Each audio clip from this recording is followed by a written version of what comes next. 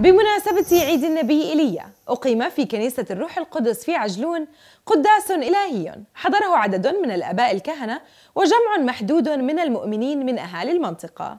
إلى التفاصيل.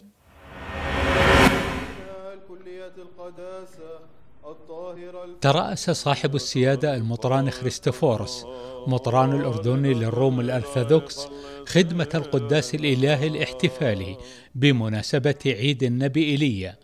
بمشاركة قدس الأرشمندريت فينيدكتوس الوكيل البطريركي في شمال الأردن والأرشمندريت إرينيموس الرئيس الروحي لمدينة الفحيص وعدد من آباء كنائس الشمال قدس الأب إلياس حداد وقدس الأب صليب بشارات وقدس الأب قسطنطين عماري وقدس الأب يوحنا حداد بمشاركة جوقة كنيسة الروح القدس في عجلون وبحضور جمع من المؤمنين من أهالي المنطقة.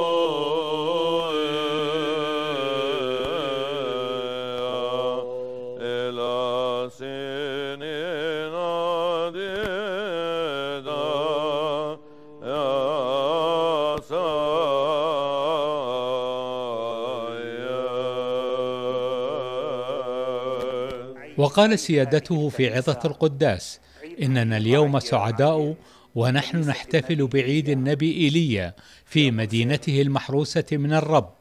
وهو الذي يعد من أعظم أنبياء العهد القديم والذي يعلمنا بسيرته العطرة كيف تكون حياتنا مرضية لدى الرب وأن نتمسك بعبادة الإله الواحد وبالعقيدة السليمة وبالإيمان المستقيم ونكون ثابتين في أرضنا ووطننا وكنيستنا المقدسة.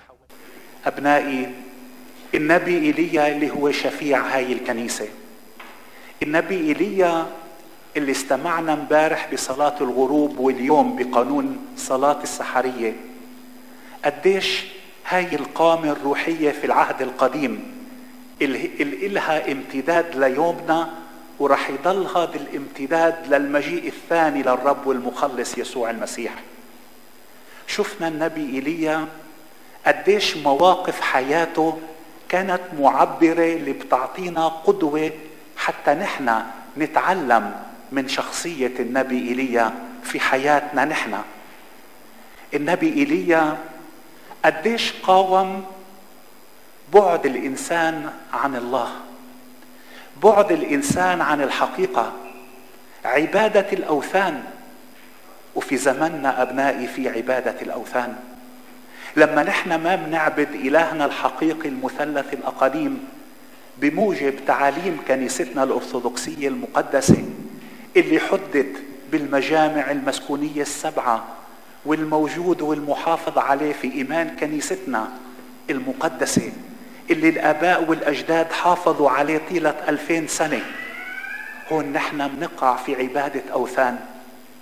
لما الإنسان بيغيب الله عن حياته وبيصبح الله وكأنه إله غير موجود أو موجود في مكان بعيد في مكان ما في السماء. أبنائي ربنا يبارككم ربنا يعطيكم كل نعمة وبركة وبشفاعة النبي إيليا شفيع هاي الكنيسة وشفيع هاي الرعية إنه هو يحمي الوطن يحمي الكنيسة ويحمي العالم بأسره. من كل الأعداء المنظورين وغير المنظورين ومن كل الأوبئة والأمراض أبنائي وبالأخص أمراض الروح والنفس. أمراض الروح والنفس.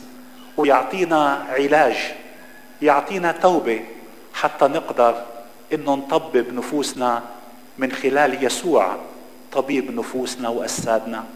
وفي الختام قدم سيادته التهاني لقدس الأب الياس حداد بمناسبة عيد شفيعه النبي إيليا ناقلا له أدعية وبركات صاحب الغبطة البطريرك كيريوس كيريوس ثيوفيلوس الثالث متمنيا الخدمة المباركة والصحة والبركة له ولكل من يحمل اسم النبي إيليا.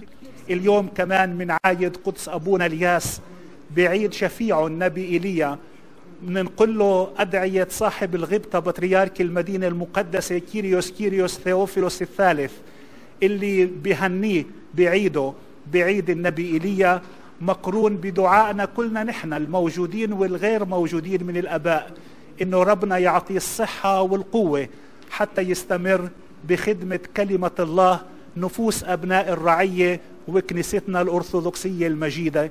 أبونا ربنا يحميك ويقويك ويعطيك الصحة وكل نعمة وبركة من لدنه. أبنائي كمان من عايد كل أبنائنا المؤمنين اللي بيحملوا اسم إيليا أو إلياس بنحكي لهم كل سنة وهم مسلمين. ربنا يعطيهم كل نعمة من لدنه بشفاعة النبي إيليا.